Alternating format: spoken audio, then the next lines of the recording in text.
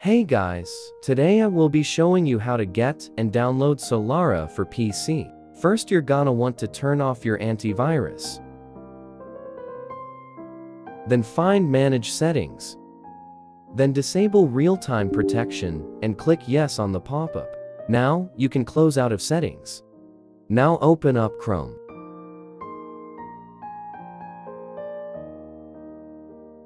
At this point, look up getsolara, dev. Then click Download. Now click on Bootstrapper. Next, click on Loot Labs.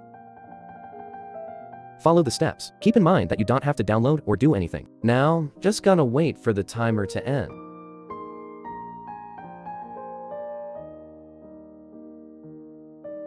Open up File Manager. Now make a new folder and name it Solara. Now drag the Bootstrapper into the Solara folder. Then pin the Solara folder on the left side. Now open the folder and run the Bootstrapper. Click Yes on any pop-ups. Click Dive in. Then the three dots. Now find and select the Solara folder. Click Next.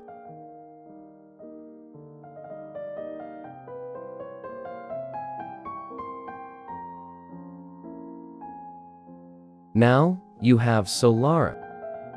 Next I'm showing you how to open Solara. Open your Solara folder and open it again. Now locate Solara exe and run it.